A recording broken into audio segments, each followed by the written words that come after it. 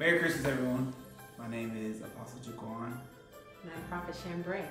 And we just want to extend our season's greetings to you all um, from the Gifted Church. We love you and we are so grateful that we have an opportunity to celebrate the King that has come to save the world.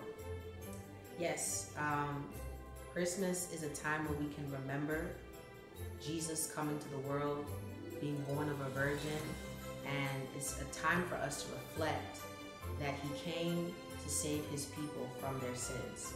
So during this time, with all the shopping and all of the food and all of the gift giving, always remember that Jesus is the reason for the season. Jesus is the greatest gift. So here at the Gift Church, we receive the gift to become gifts to the world. So go this this Christmas and be a gift to the world.